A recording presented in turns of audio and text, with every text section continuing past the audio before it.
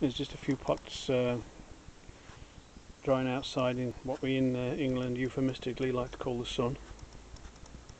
And there's a couple of the bowls I did, in addition to the one the other day with the lettering on. Uh, these have got little, dragonflies on. Gonna this this is the black slip here. I threw the black uh, threw the black clay and kept some of the slip and uh, painted it on the edge. So hopefully that'll go black and it'll have a green celadon uh, interior. I've painted some on these pots here.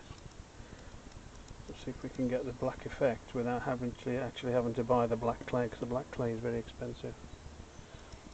So there's a few pots there with the black slip on top just as, as tests. Give you a profile of this pot here. That's the profile of it.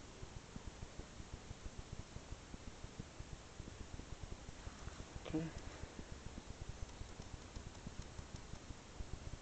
Just a quick one there, let you see what we're doing.